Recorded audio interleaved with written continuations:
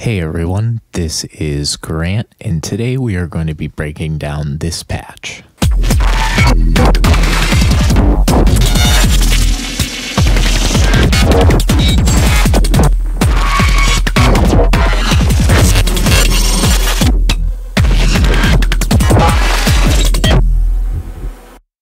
So, this is essentially three parts. There is a glitch voice coming from my sampler, there is a kick drum coming from BIA, and there are hats coming from Muskrat. So I'll get a little deeper into what everything is doing. So, first we have the glitch drum.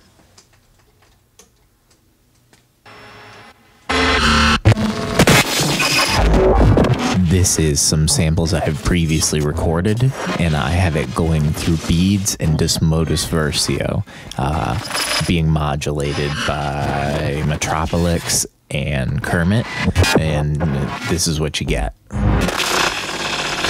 So next I have my kick drum.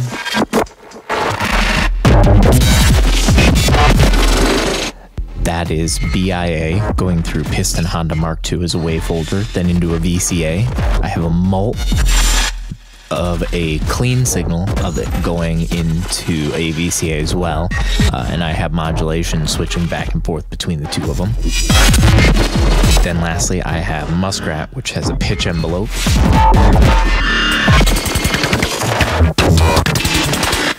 and that's running into the Doepfer A-189, the uh, voltage control bit modifier. Give it a little edge. The triggers are coming from Mito, which is the in turn being modulated mostly by voltage block.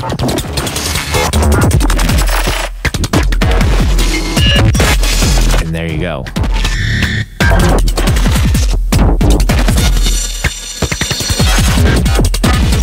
So if anyone has any questions, uh, feel free to let me know in the comments.